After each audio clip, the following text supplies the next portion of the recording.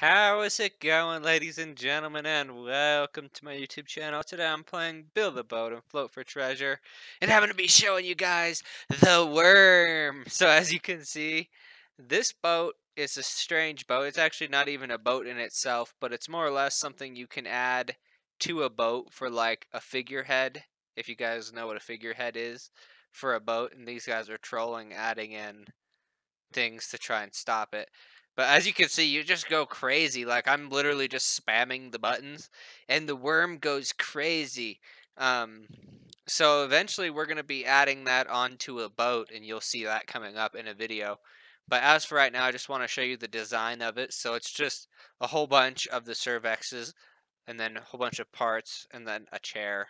Literally, that's all it is. There's no wheels to it, anything. And then once you get on it, you go nuts. You can go crazy.